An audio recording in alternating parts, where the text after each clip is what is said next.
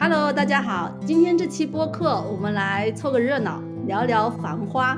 之前呢，我的播客一般哈一次只邀请一个嘉宾，但这次呢就觉得这么热闹的《繁花》要热热闹闹的聊，所以这一期我一下子就邀请了三位嘉宾。那第一位呢是土生土长的上海人，上海高校的艺术老师，教授美术管理，我们看不懂的当代艺术。欢迎芊芊老师。Hello，大家好，我是芊芊老师。啊、第二位呢是出生杭州、定居上海的新上海人，现任上海艺术院校预科系主任和合作伙伴关系主任。欢迎小丁老师。Hello，贝贝，Hello，大家好，我是丁丁老师。第三位呢是定居多伦多的软件工程师，欢迎阿花先生。嗨，大家好，我是城市中一名迷途小码农，阿花。我实在是忍不住笑出了声。你想要笑死我。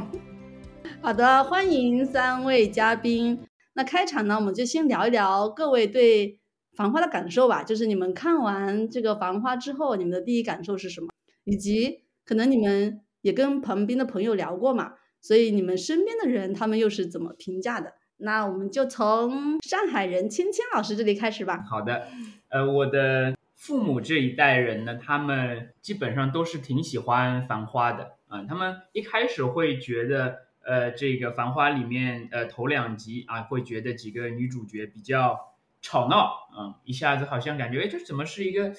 这样的上海人形象？但是呢，接着往下看的时候呢，他们会觉得几位主角的这样一个角色都是。呃，非常入戏的，非常喜欢。当然，也有一部分观众年长一些的，他会觉得好像并没有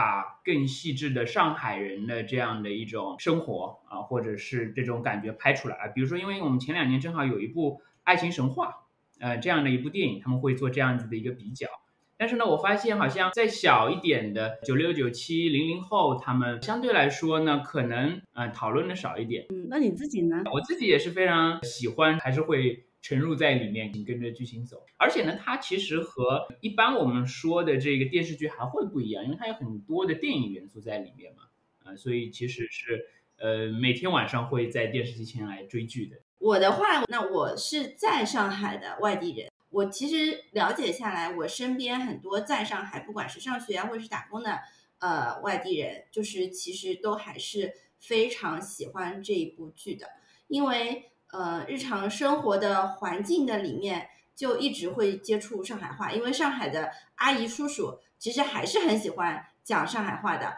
或者是啊、你去买东西或去那种比较地道的地方。呃，这个买菜啊什么的，那那那边的这个上海人肯定是要跟你讲上海话的，所以这个语言氛围是非常非常浓烈的。那我在一个呃公公婆婆和我老公都是上海人的这样的一个家庭的里面，啊、我婆婆虽然是会为着我讲普通话，但是她讲着讲着，她的习惯就会回到上海话。那你想要跟她一个更加亲切的对话的时候，你肯定是会几句上海话，会拉近两个人之间的关系，对。所以呢，我其实也是想要学上海话。那回到说，我对这部剧的感觉就是说，呃，呃，对我来说是一个非常好的学上海话的一个途径。那呃，另外一个部分就是说，我是在疫情期间看的这一本书，三年前开拍的时候，我就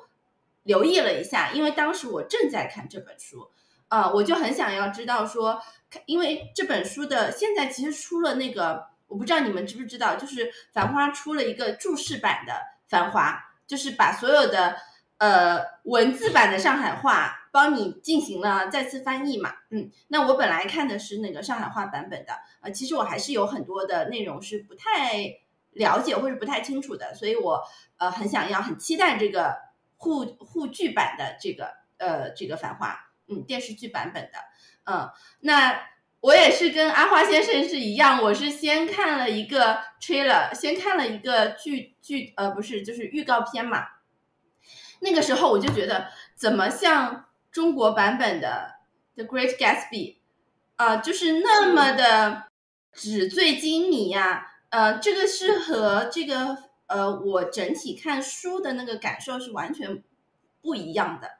呃，书里面会一直在讲到筒子楼里面的那些。事情啊，然后它是它它并不是一个那么那么呃高调的一个氛围，在这个书里面所营造的。对，所以呃，我后来就是的心态，开始看电视剧以后，我的心态就改变了。嗯，我就是去 学上海话，感受上海氛围。嗯，就是把它跟书分开来感受。对，我最近也问了一些身边的朋友嘛，有很多不是上海人，他们就说他们觉也觉得沪语版是比较有意思的，然后他们就像看美剧一样开字幕看。但我自己啊，本人我我就我也不说吐槽吧，这个剧无疑现在已经是非常成功了，但是我就是站在原著党立场上来说是有点很难接受的。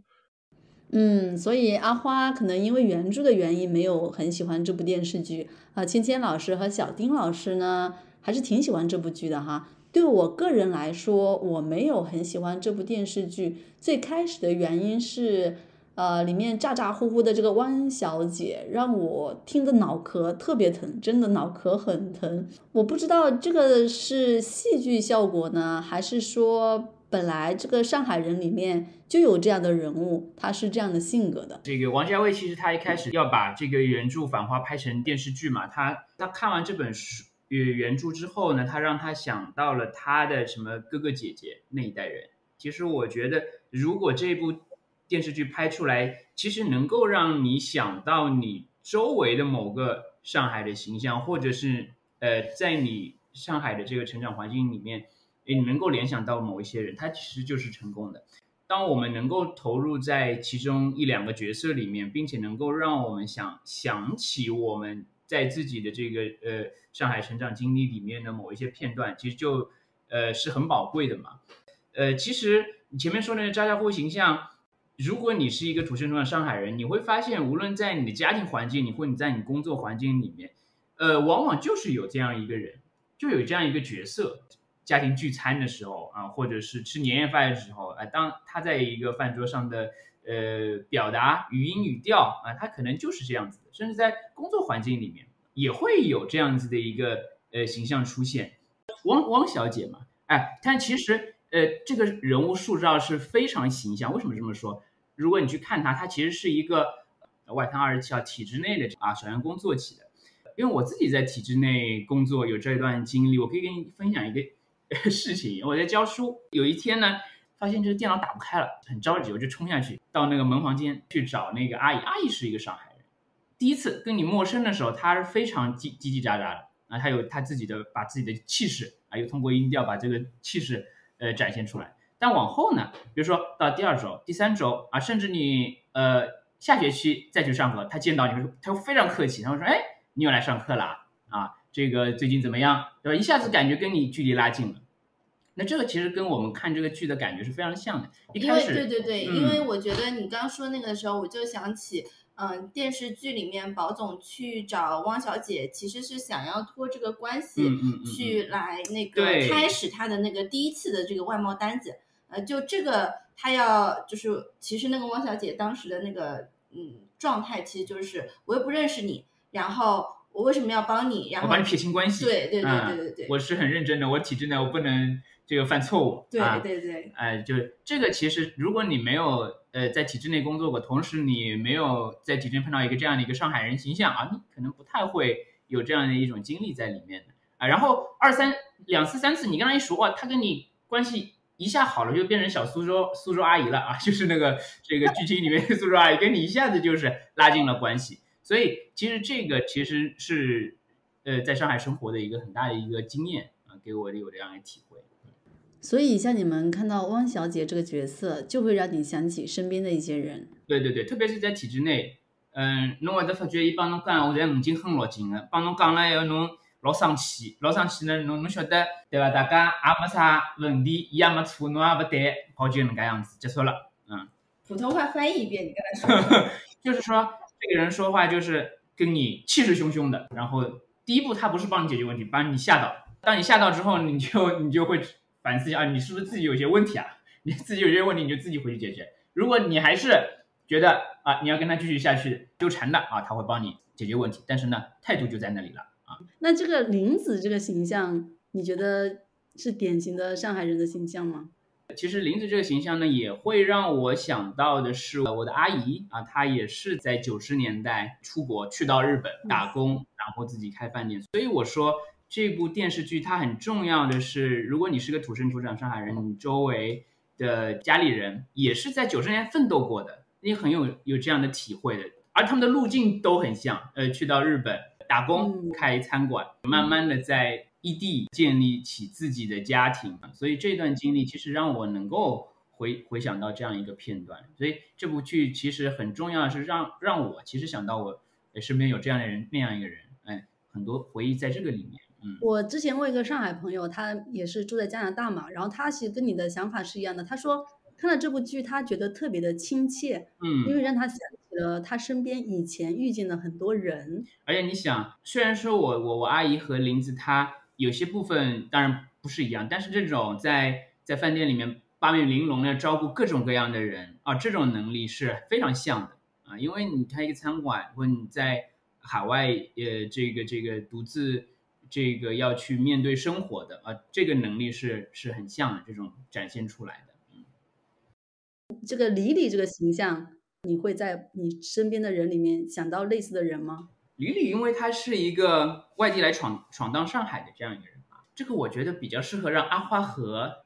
小丁老师来讲讲。有一个一有一段时期的氛围，其实上海会有一些排外嘛，那一种困难可能是我感受不到的，就是如何融入这样的一个氛围，这个部分其实可以阿花和小丁来谈一谈。李李这个形象呢，其实，在小说里是非常丰满的一个形象，他有他有一个人物的来龙去脉的，他是从。啊，北方一个什么样的家庭，经历什么样的事情，然后到香港去，最后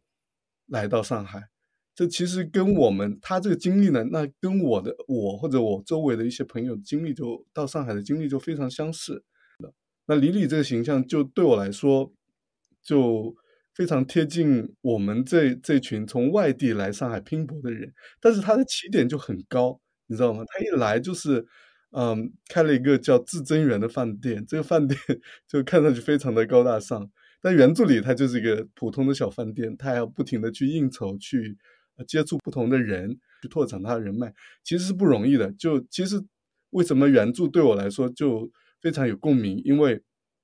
他作为一个刚刚到上海的外地人，他也需要拼搏，他也需要做各种社交，他去拓展他的人脉，这就跟我们就非常像。但在这个电视里面呢，我就看到李李非常高的起点。对李李这个角色，我比较有共鸣的点就是他作为外地人来黄河路开饭店嘛，就一直被原来的那些老板娘排挤。我之前在上海生活的时候，我在生活中也遇到过这种情况，就是会被本地的老上海人鄙视，然后他们会展现出他们的一些优越感。呃，我第一次去上海的时候。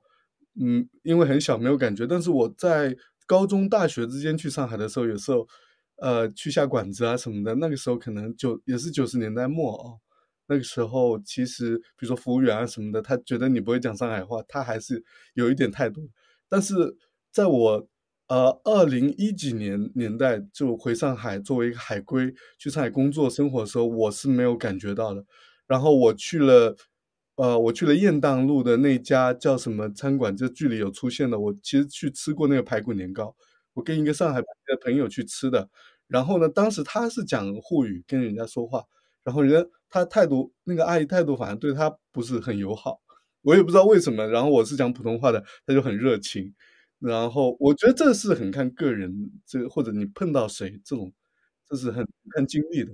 我觉得作为外地人啊，我也是觉得。就是可能近几年，呃，因为越来越多的年轻人开始到上海发展或者是闯荡嘛，呃，不仅是外地人或者是外国人，嗯，那其实上海的包容性，我觉得还是这几年是非常非常强的，甚至他们会说到，哦，你是新上海人啊，就是这不是一个鄙视啊，反而是一个肯定，呃，这个是因为可能，嗯，我我工作的这个。氛围吧，就国际学校这样的氛围的里面，呃，大多数其实都不是本地人，都不是上海人，嗯，那上海人可能就是那种阿姨啦，就是就是打扫卫生阿姨，然后他有的时候会跟你聊天，他就是用上海话跟你聊天，然后他知道你只讲普通话以后，他也是非常肯定你的。嗯。特别好像以前外地人对上海人的刻板印象就会说上海人很有优越感嘛，但我觉得现在应该也是慢慢在进步，然后整个风气都在改变了。呃，然后除了李李之外，其实这部剧里还有一个比较典型的这个外地人，就是范总。对你来说，范总这个形象其实也是蛮真实的，对吧？我当时看范总这形象，我就觉得他有点太夸张了，然后呢，有时候好像想搞笑，但其实对我来说，我笑不出来。觉得有点太戏剧了吧？因为范总的话呢，他尽可能，因为他做生意嘛，他融入这个环境。这个说话的语言里面一部分是上海话，嗯，字眼，然后一部分是普通话。呃，像从小，比如说我们去看《老娘舅》这样的一些上海这种情景喜剧，哎，会有大量这种情节是关于呃外地人到上海来闯荡，然后有这样子有调侃这种语言上面的片段啊，所以。嗯，这部分我觉得其实范总他他演的很很好，然后呢，他是很有表现力的。我一开始的时候就是觉得，嗯，搞笑归搞笑，但是对于范总，我就是不太不太认可，因为杭州普通话不是这么讲的，而且我看到网上有很多杭州人就是呃非常抵制范总，就是一直是在说他的口音就已经是苏北口音了。嗯，就是上海呃杭州口音的普通话不是这么讲的，但是后来我也有看到说，就是很多人他来，因为来上海做生意嘛，他会不自觉的呃，又带着上海的呃模仿上海的这个说话的方式，所以他就是有一些可能不伦不类，嗯，对对对，你又让我想到了一个人，甚至这个人不太好讲，也是工作环境里面的一个朋友，他也是一个外地人，跑到上海来，慢慢学着上海话。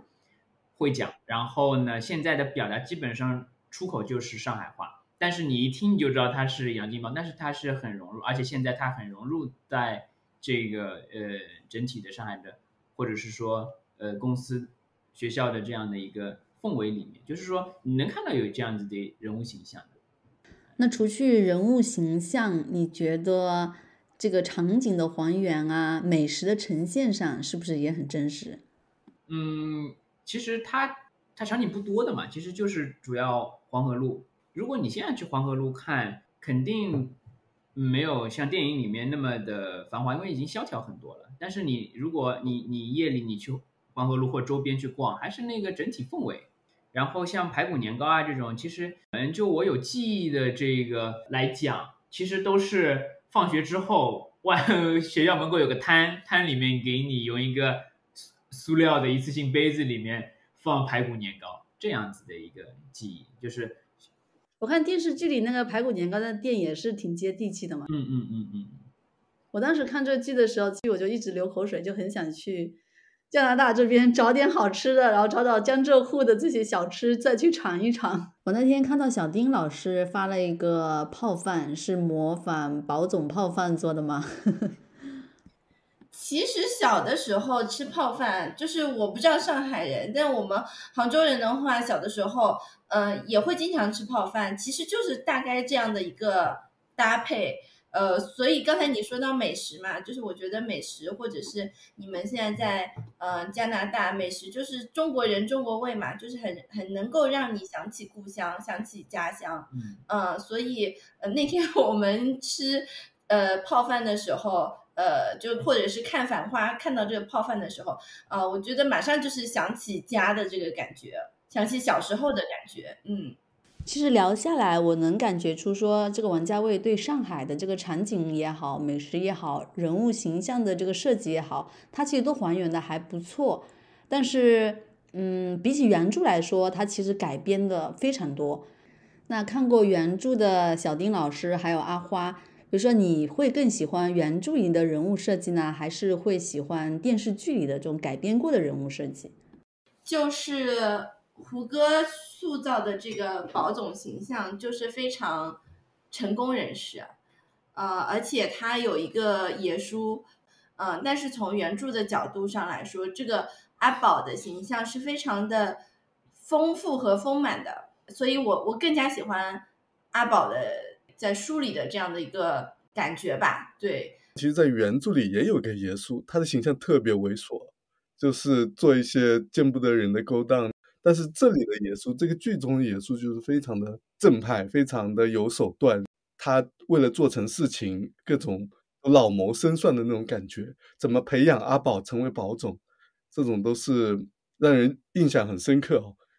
电视剧跟原著本来已经不是一回事了，那么电视剧那么成功呢，我其实是挺开心的。我看到网上很多人已经开始用繁话来学习上海话，然后在这种环境下，特别是小朋友们十几岁啊，甚至几岁的小孩子都已经不说上海话的前提下，如果能引起一股学习沪语、学习地方语言的这种热潮，我觉得还是非常有意义的。话说回来呢，那么上海市。对我来说，上海是由每一个普通上海人构成的。对于这部剧最大的那种意见，就是说这部呃《繁花》的原作它是比较偏苏州河的，但是这部剧呢，明显是讲的是黄浦江的故事。那么这种这种差别呢，那是很大的。就是呃，一个是阿宝，一个是宝总。那么这里面包括股票，在原著里都没出现过，原著里只出现过邮票。然后还有一个呢，就是他舍弃了六十年代的故事，只拍九十年代的故事。那么六十年代故事其实也是很精彩的，就是阿宝这个人在六十年代他是怎么过来的，他的家庭是怎么样的，那其实这个有很完整的交代的。我也很同意，呃，丁丁刚才的说法，我我很喜欢原著里这个阿宝这个很丰满的原著的形象。原著里他阿宝是有三个好，是有两个好朋友的，就是护生跟小毛。我尤其觉得遗憾的是，小毛这条线没有了，因为，呃，在剧中呢，只有一些从外地到上海打拼的人，他们是比较底层的，而实际上在上海，就上海人里面，在苏州河畔也有很多人，他们其实很底层的，那就是工人啊，他们就是一些普通人，不像阿宝，他爷爷就是个大资本家，然后他有个哥哥在香港，他做生意各种便利，对不对？他甚至做个外贸，还有个爷叔在后面当军师。那普通人呢？我很想听普通人的故事。其实，如果王家卫先生能够把普通人的故事能够拍出来，会引起更多上海人的共鸣。我就觉得这个，现在有一个传言，就说王家卫要拍《繁花》的电影版。那么，我想跟王导说，你，呃，既然剧集已经这么聚焦宝总这条故事线了。那你电影呢？能不能拍一些就是普通人或者呃一些像沪生这样的比较中间的这种上海人的故事？包括我最感兴趣的是，呃，原著里面陶陶的那些小故事，虽然他很猥琐，有很多这种呃现在看来呃很多你觉得政治不正确或者说。呃，他不正能量的事情，比如说婚姻上面啊，他的出轨啊，他在市场里看到的那些市场里的那些精彩的事，呃，市井故事啊，其实这个都非常的上海。因为，嗯，作为一个外地人，我说定义它非常上海，就是我对上海的感觉，就是它其实是很有市井气、很有烟火气的。呃，我觉得我也不不是那种就是要求啊，你如果翻拍这个小说或者是这个原著。呃，你一定要百分之多少来还原？因为我觉得在看书的时候，因为它是文字嘛，你对文字的感受，你可以产生非常非常多的想象。那不同的人他就有不同的想象。呃，我觉得这个是，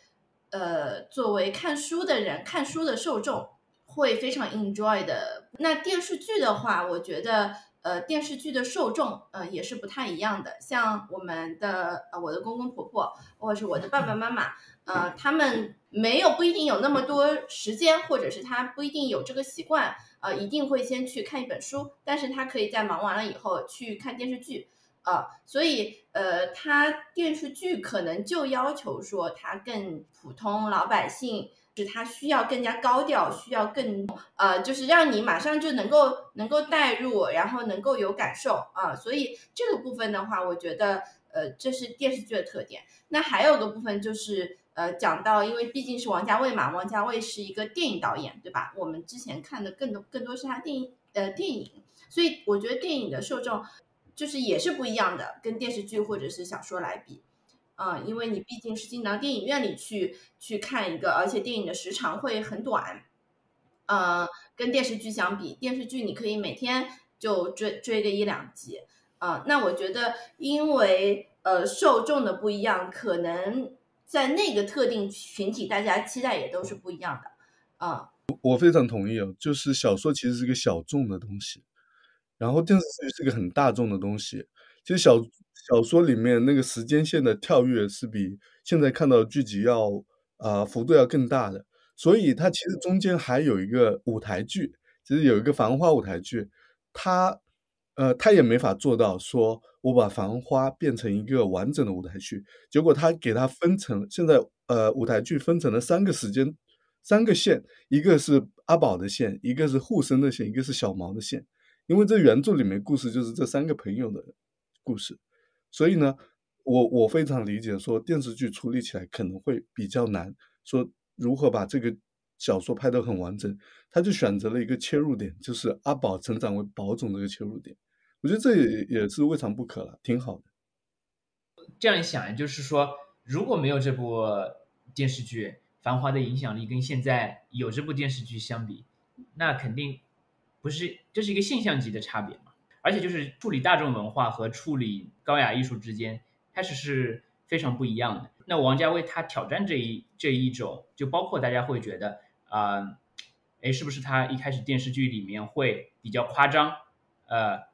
有可能其实是呃呃电视剧里面有有一集嘛，不是这个汪小姐和保总分开了之后，不是去要去抢那个牛仔裤订单嘛？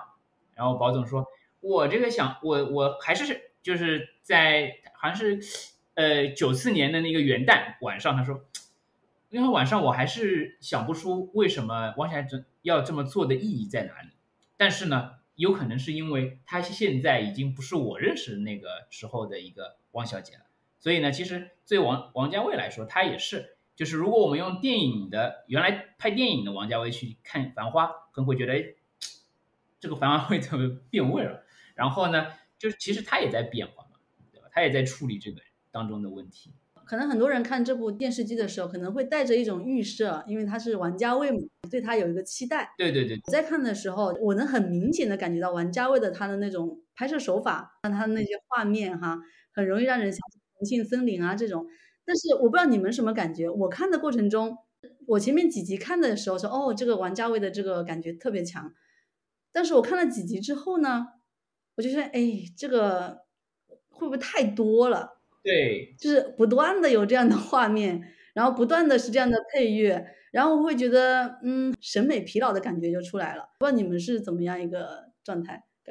有可能你之前看的是电影，因为再多我就看两个小时。现在你会发现，你每天看两集，每天看两集，怎么这部电影让你连续看了这个二十多遍、三十遍，这就不要看了？对，你们也会这种感觉是吗？会有审美疲劳？会有一些些，但是呢，就是呃，还是会被他这种电影语言的这种感受带入的，还是还是有很强的这种代入感的。呃，其实我可以来讲一下其中的我自己蛮喜欢的一个片段，因为它其实这部电影里面呃用到了很多，就像你前面说的这种呃王家卫自己的拍摄手法。我我我自己的体会是，它有两种空间。一种空间呢是流动式的，这个像意识流一样。那还有一种空间呢，它是一种非常固定的、静态的。因为我们以往看电视剧的时候，不太会看到有那么多的意识流的画面出现嘛，因为它更多是在艺术电影里面会有的。哎，我其实可以讲一下我我记忆中印象比较深刻的二十七集的宝总和李李之间的这样一个片段。宝总一开始呢，他就坐了一个十三路公交车。好，从开始坐上公交车时，这个镜头对着十三路那个标牌开始，整个镜头就开始晃了啊！从海门路啊、长寿路、万航渡路等等，然后呢，镜头都是晃的，而且晃从白天晃到晚上，它其实就是在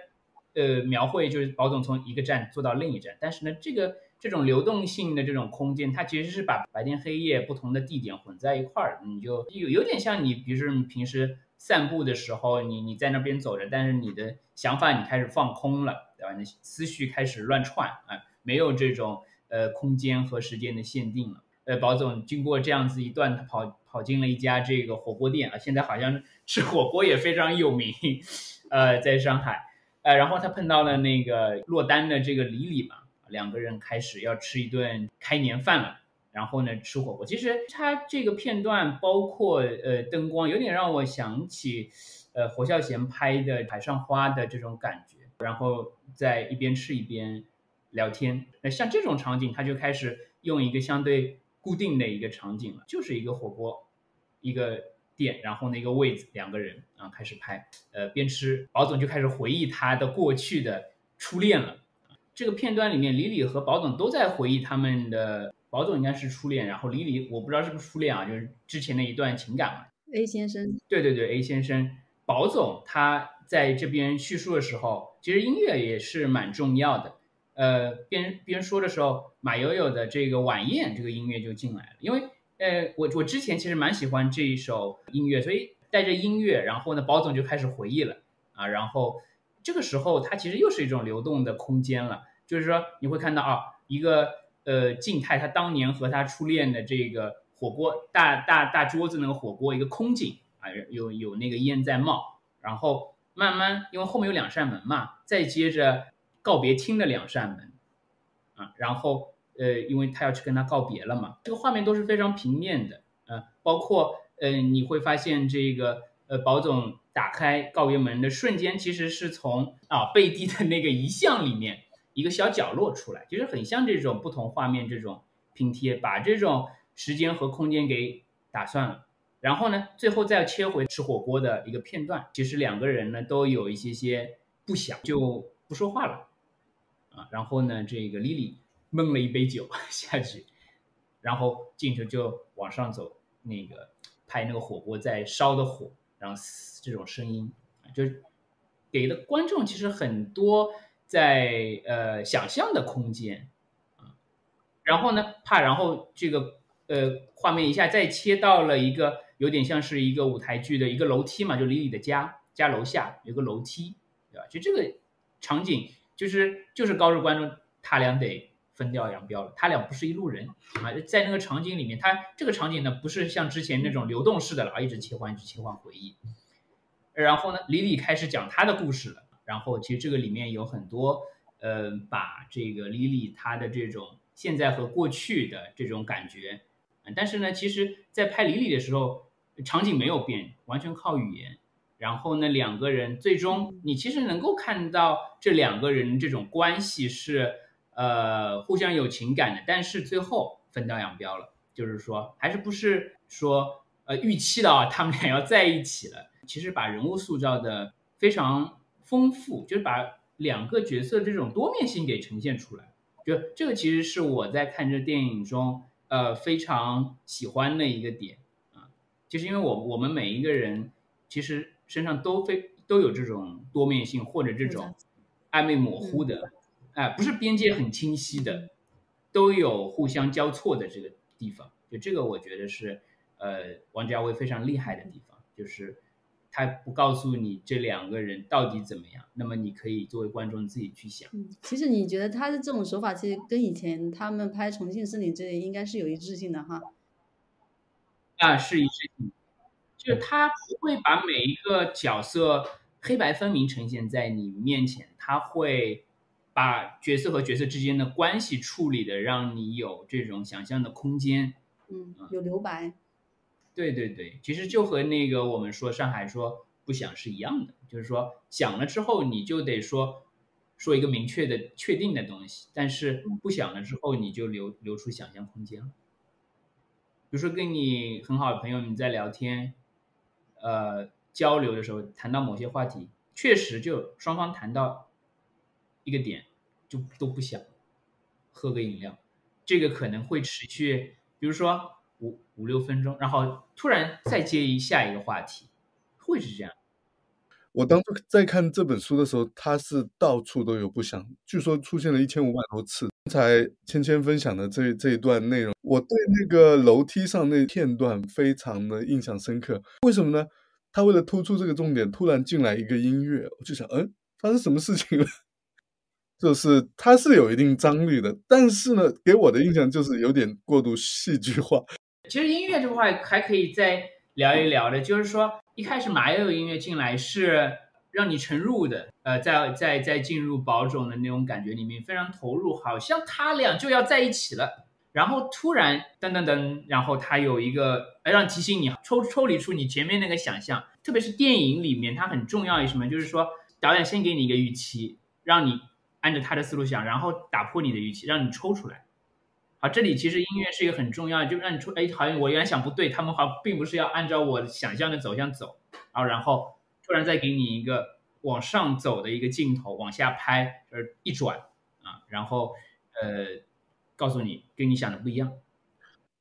另外一个是他的音乐运用的比较多，结果我发现我看的那几个片段里面，他就导演就大量的使用了这些音乐。你知道这些音乐，九十年代音乐对我们这这个八零后、九零后，呃，可能九零后末期的人可能感受不到，但是对我们八零后来说，那些音乐都有它很特定的含义，一下子就会把某种情感给烘托出来。或者是把你的某种内心的感觉给吸引出来，然后加在这个剧里面。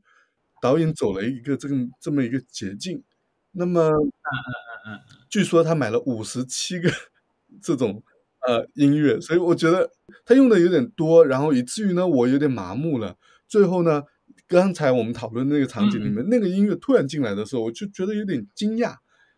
所以呃，可能在一个电影里面，只有在最高潮的时候，我们才会说有一个。呃，有个音乐进来，然后烘托，呃，一下子把每个人的情绪烘托到高点。但是在这个电视剧里面呢，它就是常常会出现。嗯，是这样。就这部剧里面有好几次的这种预设，然后呢，呃，要把这种很真情流露的片段先烘托上去，怕然后在一个高点马上给你一个非常上海式的搞笑元素，就把转换掉。这个其实我我个人觉得，在我们。呃，上海人的生活里面会有这样子的，就是因为有时候我不知道，呃，是不是因为我或者周围的这个工作环境里面有这样，就是说，当我们很很真情的在表达的时候，下面的人去怎么去接和回应啊，或者说我们上海用人用的这种方式是用一种有一点点夸张的去，我们上海话我的刚粗语就是。吐槽或者去去去去搞怪他，把他那种很真情流露的东西给打破一下，但是大家心里都知道他是非常真心的，只是但是不知道怎么去接了，你知道吧？因为你太真心，要流泪了，你知道吗？要流泪了，然后大家就不知道，然后就马上用一个非常搞怪上海式的幽默把它给接住，然后接出来，然后到下一个情节里面去。就这个电影里面让我感觉有这个东西在。有没有发现这个其实也是？前一段时间港剧流行的比较流行的这种桥段，就是他会倾向于把一些严肃的情感在最后通过搞笑来消解掉。然后我觉得王家卫这个人呢，就带着虽然他是香港的上海人，他就带着很明显的旧港片时代的那些遗迹在这里拍片子。包括你前面我们提到的那个卢美玲，他很多上海人说我们上海。可能不会有这么一个这么彪悍的人，就是有有一个人可以一只手指着天说话这种是，但是在香港电影里，你就会看到，比如说包租婆啊这种形象，就嗯是的，是很明显的，他是在呃一个香港上海人的世界里挑选了一些人，是的，是的，到这个这个剧里面。既然我们聊到这里的话，你觉得下一集就比如说这个剧集如果继续开发续集的话，它应该叫什么？叫做《繁花浦东大开发》吗？那 最后那个宝总是拿到了浦东的一大块地，是吧？对，这这个他拿到川沙那块地啊，对我们新上海人来说，浦东比较熟悉嘛。你知道上海就是上海人的话，不怎么想去浦东嘛，但我们新上海人都在浦东，所以呢，川沙离我们住的地方也挺近的，所以。所以后来说迪士尼是保总的，所以在在接下来那个时代，在地产时代，保总也能独占鳌头，独领风骚一段时间。你知道我整部剧前面出现的那些地名，我全部没有什么感觉，然后到最后一集，它出现了川沙，太有共鸣了。说到共鸣的话，你说川沙有共鸣，我刚开始读那本小说的时候，我在昌平路上班，所以那个前面讲的。沪深小毛他们住的地方就在我上班的地方，然后我我那个静安产什么静安现代产业园一出来就是苏州河，所以所有地方都对上了，我就看着非常有感觉。所以这这种生活经验跟无论是文学作品还是影视作品来说，嗯，它的交集就非常重要，就很能引起你的共鸣。如果你有生活经验去看这部片子，会不太一样。对对，我能想象，就是我前面就是当我出现川沙的时候，我一下子那种情感就出来了，我就发现啊，原来呃上海人为什么喜欢这部剧，因为前面可能每个地名、每个美食，然后出现的每个人物，可能都会让他不断的想起他以前他们的过去、他们的曾经，嗯嗯所以他们会那么的喜欢。然后他们是的是的沪语的使用呢，对你们的感情代入也会非常强烈，对吧？是这样的，因为电影或者呃电视剧里面用方言这个呢，其实很早，从一九四零年代、五零年代的这个意大利新现实主义开始，就对于电影有这样一种革命。因为首先它其实是一种写实嘛，一种真实。呃，当时在意大利在拍电影的时候，就是用真实的场景来做拍摄的，它不是搭景的。那同时打呃所有的演员他就是用方言在讲。那么，其实这一层，当我们在看外国片的时候，我们不不太容易体会到的。呃，现在有这样子的一部片子，它电视剧用用沪语来讲，就这个层面情感维度上面的体验是非常丰富的，它层次是非常丰富的。你们看这部剧的过程中，有没有特别牵动你们情感的这种京剧啊？呃，因为刚才前面在聊爷叔这个人物嘛，嗯、就是感觉呃，王家卫在电视剧里面赋予爷叔的一个角色，就是一直呃来总结一些，或者是讲出一些自然而然讲出一些人生道理，或是京剧，或是心灵鸡汤。嗯，有的时候是关于情感的，有的时候是关于这个做人的，有的时候是关于这个做生意的，啊、所以呃那一天我是在看，好像是呃马家辉的对于这个《繁华》的一个一个评论，呃，他就说了一句话，他就说呃很聪明的出版商，呃可以出一本这个爷书语录。应该会蛮卖座的，呃，就是说，呃，就是整整体感觉在在故事线的梳理的里面，爷叔就是是这样一个一直讲京剧的一个角色。啊，那我我我我讲一句好吧？一开始第一两句里面，爷叔教保总做生意，他说，男人有三个钱包，第一个钱包呢，就是你有多少钱，实际有多少钱；第二个呢，就是信任，你能调动别人钱包里面多少钱；第三个呢，就是你看上去有多少钱。昨天因为我们刚好看的二十八集嘛，呃，然后二十八集是爷叔又回来再看了一次宝总，呃，那个时候他在进电梯之前就跟宝总说了一句“退后一步”，呃，应该是说了两遍，呃，退后一步，呃，我觉得这一点算是一个金句吧，嗯。那么我的对我来说，这个剧里最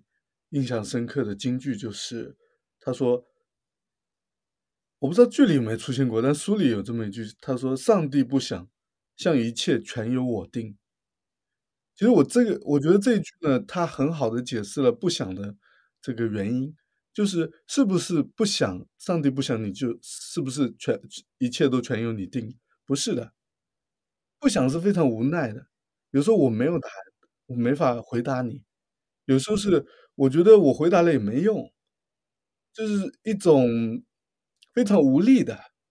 这种感觉。他你这个好像跟他电视剧的最后一集结束的时候，那个阿宝他说，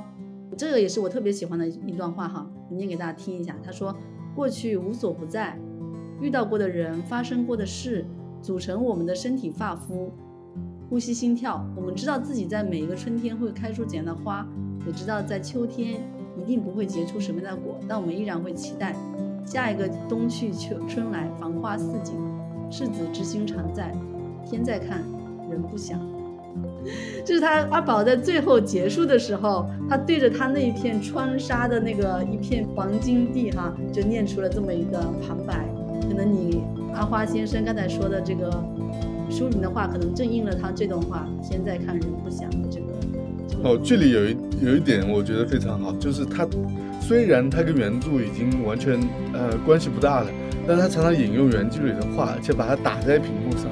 然后我听说这个剧播出以后啊，金宇澄先生的这个《繁花》加印了十万本都不够卖的，我非常开心。希望大家都能有机会去抽出时间去看一下原著，我觉得原著是可能是最近我看过的中文小说里面最好的字。对对对，我打算再去看一遍了。我也打算再去看一遍。好了，那今天我们的播客就录到这里了。如果大家对《繁花》有什么自己的想法，不管你是支持的还是反对的，欢迎大家给我们留言来分享你的观点。谢谢青青老师、小丁老师，还有阿花先生今天抽出这么宝贵的时间来参与我们的播客录制，谢谢，拜拜。谢谢贝贝，谢谢阿花先生，谢谢，拜拜拜拜。小圈圈。